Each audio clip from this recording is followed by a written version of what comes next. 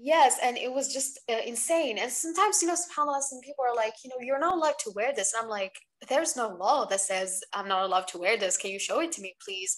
And subhanAllah, I went even to like started wearing masks instead of uh, like niqab sometimes, just to subhanAllah. And that was before Mm. Corona, by the way. Nowadays, wearing a mask is normal, but before it was just so weird. SubhanAllah. So that, that was all in Algeria? That was only in Algeria. Yes. A lot of people are surprised like but you know a lot of things actually um uh, so many uh, last year only uh, a girl was also kicked out of university just because she uh, was covering her face subhanallah.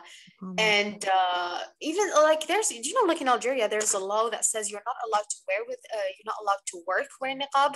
Mm, Yes, because they do follow France and subhanAllah. So it's basically the same thing. And there's not much niqabis, um, at least in universities, in workplaces. Like you really need to be strong enough to handle that and you really need to be confident. Like Alhamdulillah, for now I don't have any problem.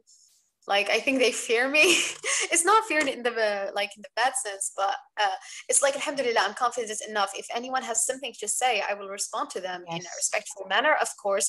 And I've noticed that it's when you respect your own values, when you're confident, like people automatically they have to respect you. Subhanallah.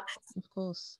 Yes. But when you show them that you're not confident, that you're not really feeling it, when you try to blend in, for example, someone tells you why you're doing this, you're like, it's just that because I want to. No, uh, don't say just because you want to, just because you love this clothes. Say because I am a Muslim woman and I believe that this makes me strong. You need to don't be ashamed. You're not doing anything wrong. So many people are doing a lot of you know wrong stuff, and no one is telling them anything. So why would be, why we would be ashamed of our Muslim identity? No, Subhanallah.